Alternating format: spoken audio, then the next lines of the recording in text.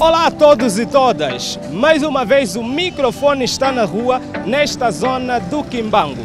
Hoje nós vamos perguntar às pessoas o seguinte: se o carro estaciona, o avião pousa, o que é que faz o barco? Venha daí porque vamos saber sobre isto agora.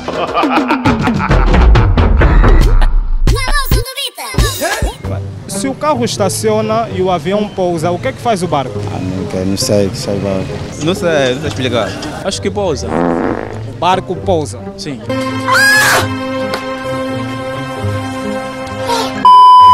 O barco também pousa.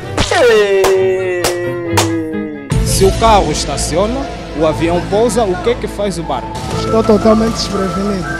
O bar, barco tranca.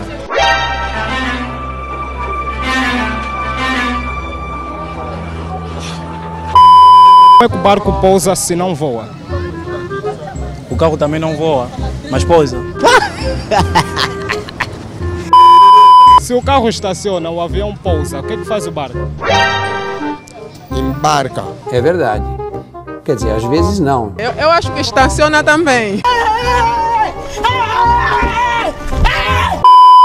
Não, esse mesmo não sei, não sei. Vou falar depois.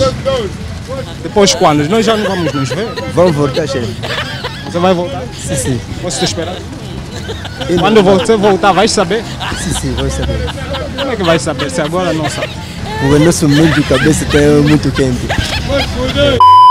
O carro estaciona, o avião pousa, o que é que faz o barco? O barco tranca. Traca.